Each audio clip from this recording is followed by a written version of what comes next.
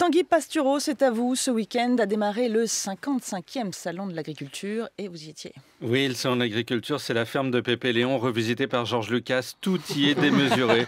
Sur le salon, il y a 230 tonnes de paille que la faune ne se met pas dans le nez comme au César, mais dans la bouche. Il y a 4000 bêtes qui se font tripoter. Le salon, c'est le pataya des animaux. Le tout génère 280 tonnes de fumier. Là-dedans, ça pue la mort. La phrase la plus prononcée est Je te promets, mon amour, que c'est pas moi. Et comme chaque année, il y a une vache qui sert de mascotte, ce qui signifie qu'elle ne sera pas servie avec des frites. Là, c'est haute, une aubraque aux yeux, nous dit-on, comme maquillée. C'est le seul bestiau admis chez Sephora. Alors, elle a le droit à un box d'honneur avec son veau, Olympe, qui devient donc une star pour 15 jours, soit 14 de plus qu'Olympe, le chanteur, petit jeune issu de The Voice. Hein, c'est comme un concours agricole, sauf qu'au lieu de mugir, il y a des types qui braient. Alors, le président Macron était samedi au salon, découverte pour lui, puisque la seule bête de la ferme qu'il ait vue pour l'instant, c'est le cheval sur le carré Hermès de Brigitte. Il y est resté durant 12h30. Ça a fait comme Mowgli, mais en plus jeune, les animaux l'ont adopté. À 19h, il savait parler le cochon. Les porcs lui ont révélé que l'assassin de leur mère était juste un bridou. Macron a battu le record de Hollande en 2013, qui avait passé 10 heures au salon. 10 h 12h30, toujours plus long. Le prochain président pioncera deux semaines dans le foin, couché entre deux moutons qui sentent, en consommant uniquement de l'herbe, hein, comme Yannick Noah.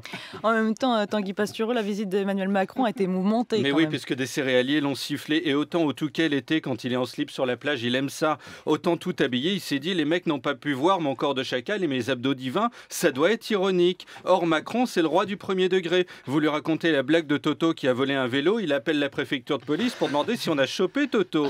Donc il s'est retourné et a parlé à un céréalier, mais comme Berlusconi à son chirurgien quand un de ses élastiques a lâché et qu'il a l'oreille droite sous le nez. Il l'a défoncé. Pascal le grand frère à côté de Macron, c'est Gandhi sous Xanax.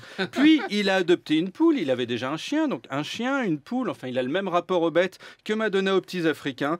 Poule qui s'est retrouvé en live sur BFM TV avec son éleveur. Un BFM, c'est la chaîne animaux. Si Édouard Philippe chope des morpions, un quart d'heure plus tard, les bestioles témoignent en plateau.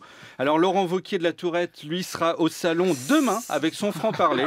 Hein, c'est-à-dire qu'il va affirmer que Sarkozy, lors de sa dernière visite, avait mis un micro sous chaque chèvre avant de se rétracter. Quant à Nicolas Hulot, il a reculé sur l'interdiction du glyphosate, hein, ce poison. Lui, il recule, il recule. Hein. C'est le nouveau Michael Jackson. Il va finir le mandat en moonwalk.